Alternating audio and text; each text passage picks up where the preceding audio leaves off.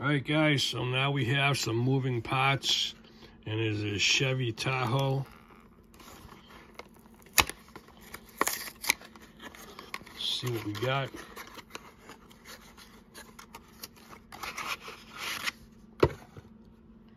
Very nice. I like that it won't drop out.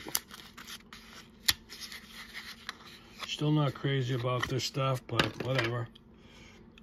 So I'm assuming this piece comes up. Let's see if we can break out things today. Wow, that does not want to open. Too bad, because it looks like there's a lot going on in there. Wow, what a shame. It looks like it opens up great.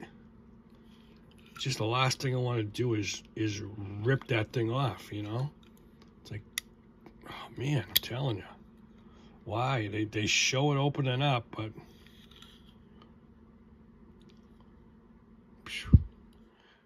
Wicked tough, though anyways. Very nice Tahoe.